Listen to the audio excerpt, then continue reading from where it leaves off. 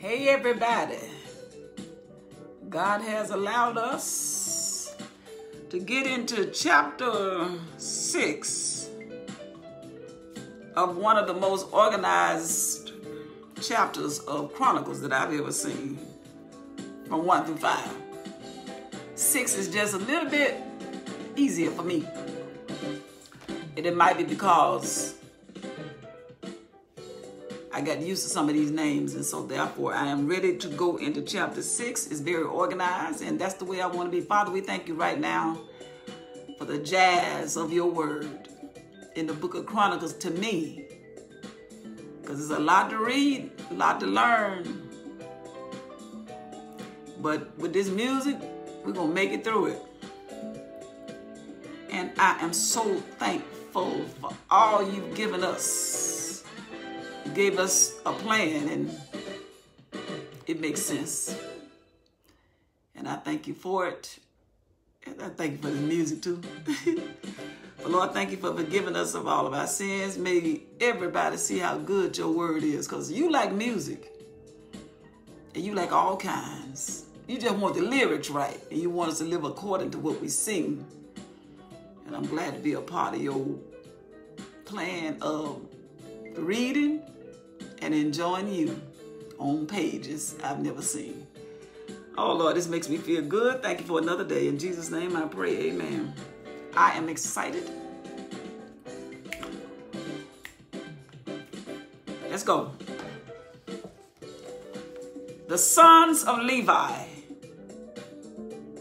were Gershon, Kohath, and Miriel, or Miriel, Miriel. These were the Levites. These were God's fingers, his hand. He used these three.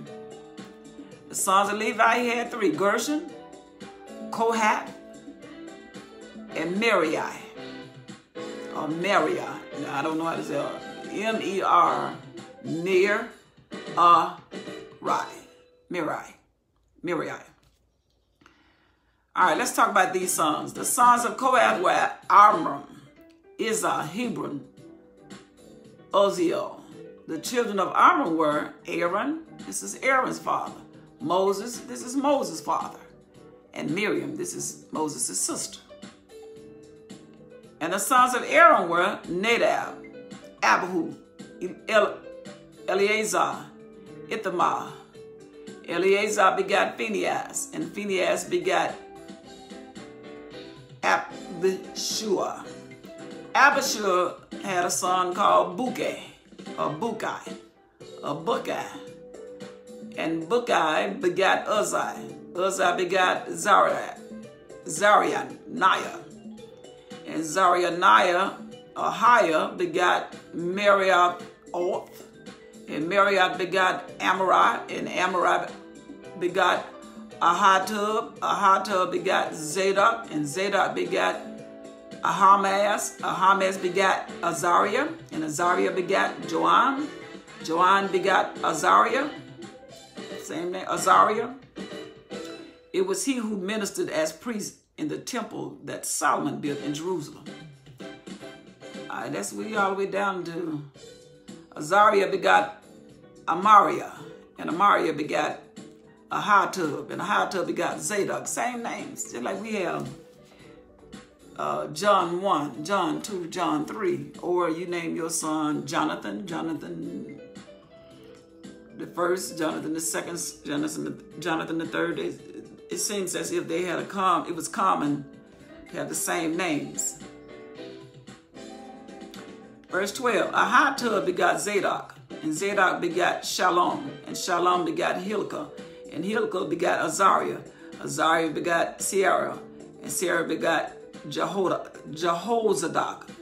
And Jehozadak went into captivity when the Lord carried Judah and Jerusalem into captivity by the hand of Nebuchadnezzar. So coming all the way from Egypt, and we get to after the kings, we're talking about uh, about 900 years. That's 900 years of uh, life. It might not be 900 is right, right maybe a little less than that. The sons of Levi were Gershon, Kohath, and Miriam. These are the sons of Gershon.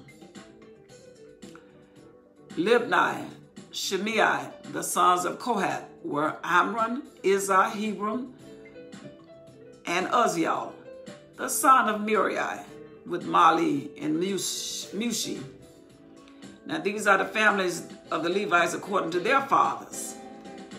Gershon's of Gershon's Libni his son, Jahath his son, Zemiah his son, Joah his son, Iddo his son, Zerah his son, and Jethro his son. The son of Kohath were Abinadab his son, and Korah his son. You say, why are you reading all these names? Because my father wrote it. It is, I think it's just good to be obedient and say it. Cause I never read it before. Just want to read it again. Asir his son, Elkanah his son, Ebisath his son, Asir his son, Tahat his son, Uriel his son, Uzziah his son, Shaul his son. The son of Elkanah were Amasa, Ahamath. As Elkanah, the son of Elkanah were Zophia. The son of Nahath, his son, Eliab, his son, Jehoram, his son, and Elkanah, his son. The sons of Samuel were Joel, the firstborn of Abijah, Abiah, the second, the son of Muriel, were Mahi, Mahli, Mahli, Libni, his son, Shemiah, his son, Uzzah, his son, Shema, his son, Haggiah, his son, and Asaiah, his son. And all of these are sons that that were a part of the Levitical priesthood, or the sons of Levi. What's different about chapter 5 and chapter 6 is chapter 6 is very organized. Some kind of way, somebody in chapter 6 made sure that things were written. And what can I learn from this? When you keep things organized, it's more, you're more accountable. And when you're more accountable, you're more believable. Uh, let's go to the choir or the musician of God's house. And God loves music, I told you. But I only, I'm only carrying this music because it's a lot of names to remember, and this kind of helped me flow through it. Musicians in the house of the Lord. So God, you know, you got some people don't believe in music. Musician in the house of the Lord. I, I don't like to talk about what people believe. I like to talk about what he said.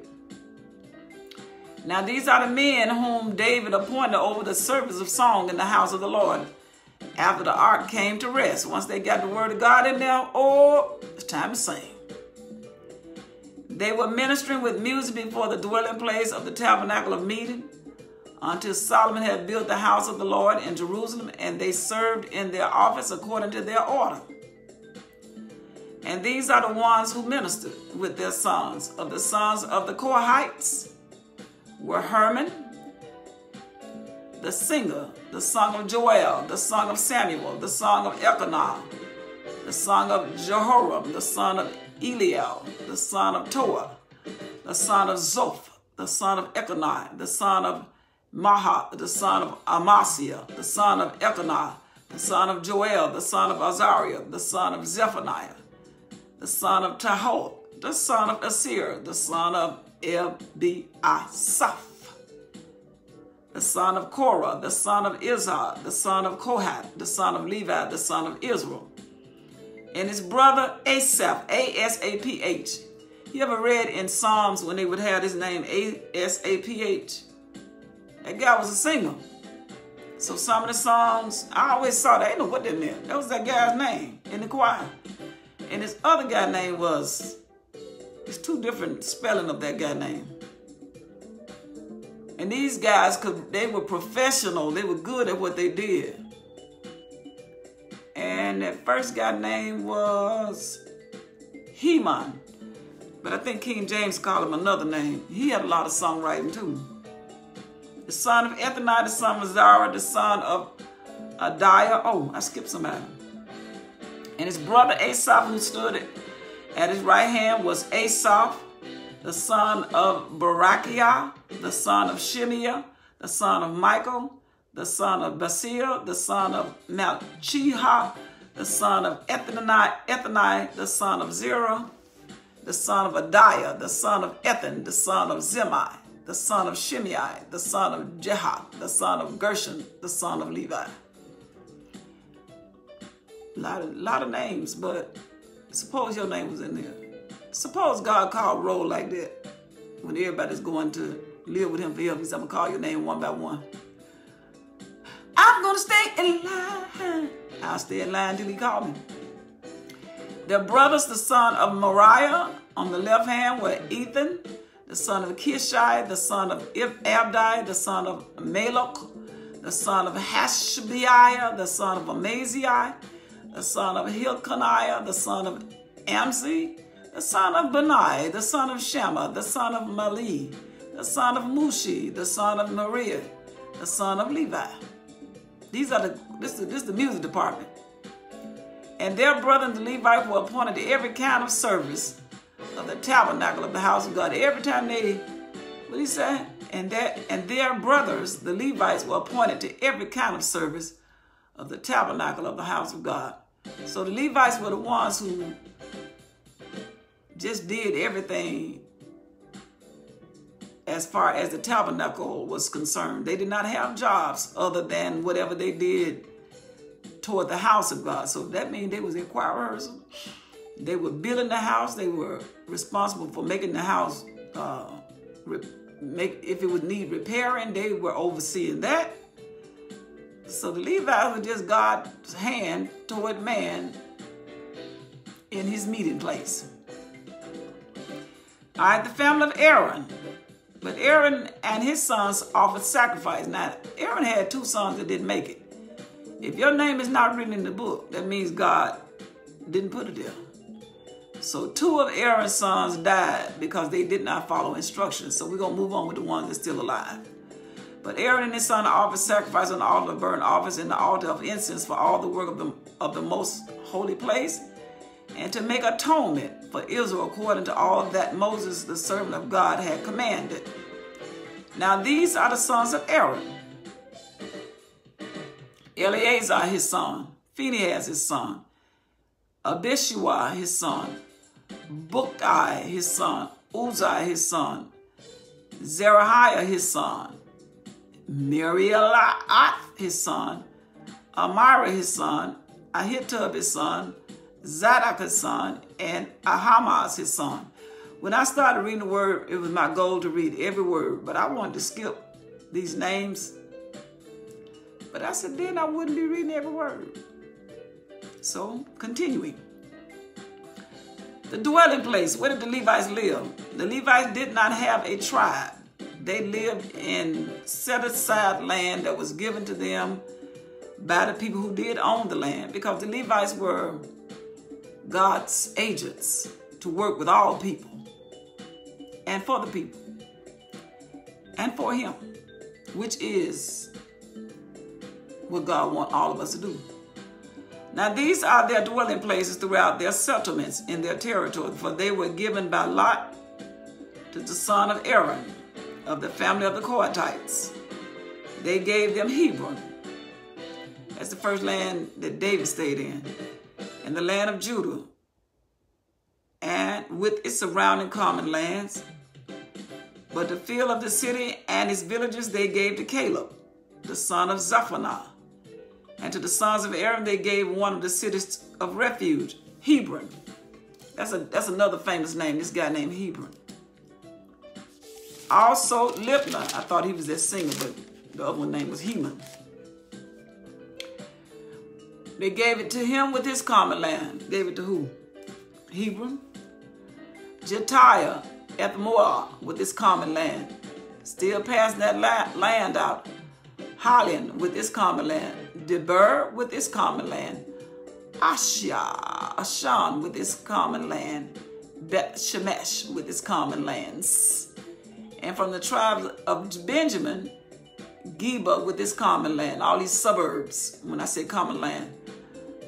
Alamath with its suburbs, Anath with its suburbs or common land. All their cities among their families were 13, so they were very, very organized. Moving on.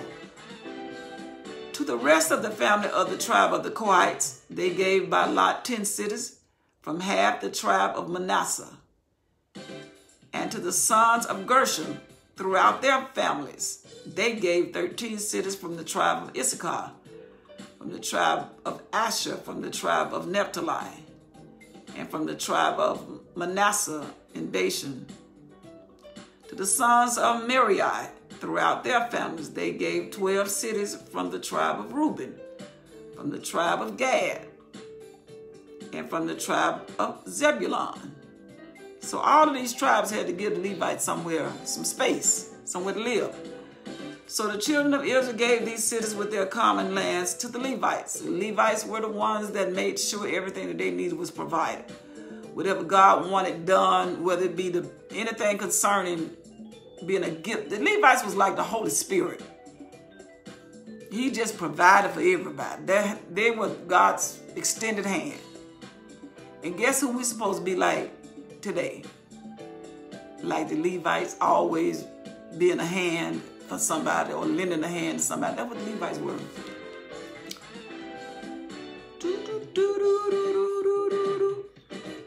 To the sons of Merari throughout their family, they gave 12 cities from the tribe of Reuben, from the tribe of Gad, and from the tribe of Zebulun. So the children of Israel gave these cities with their common land to the Levites. And they gave by lot from the tribe of the children of Judah, from the tribe of the children of Simeon, and from the tribe of the children of Benjamin. These cities were called by their names. So they kept their, they kept their, their names. In other words, if I gave you a city and I still call it Brenda, then that's the city of Brenda, but I'm just trying to make it plain. Now, some of the family of the sons of Kohath were given cities as their territory from the tribe of Ephraim. And they gave them one of the cities of refuge, Shechem, with its common land, and, and Mount Ephraim. Also Gezer with its common land, Jokmeon with its common lands, Beth Horon with its common lands, Ahalion with its common lands, Gat Ramon with its common land, and from the half tribe of Manasseh, Anna in its common land with Bileam with its common land for the rest of the family of the sons of Kohath. I wonder why God put it in here. Did he mean for us to skip this part? This is just the part of the word you just don't read right. I don't know. I've never read before either.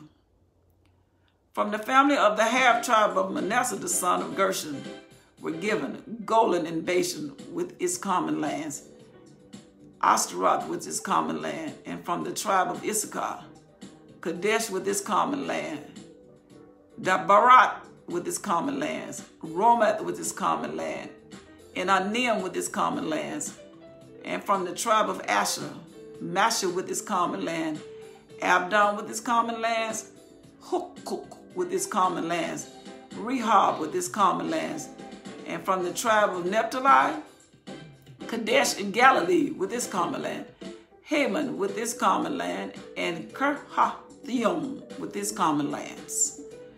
From the tribe of Zebulun, the rest of the children of Merari were given Rimmon with its common lands, Tabor with its suburbs or common land, and on the other side of Jordan across the Jer- from Jericho, on the east side of the Jordan, they were given the tribe of Reuben, Bezer in this wilderness of its common lands, Jazaz with its common lands, Kedapmoth with its common lands, Mephanot, Mephath with its common lands, and from the tribe of Gad, Ramoth and its Gilead with its common lands, Mahanims with his common land, Heshbon with his common lands, and Jazer with his common lands.